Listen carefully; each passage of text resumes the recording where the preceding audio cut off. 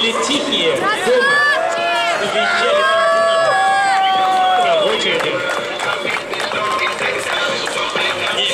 Ну что ж, друзья, мы видим то, что у нас музыкальная поддержка, поддержка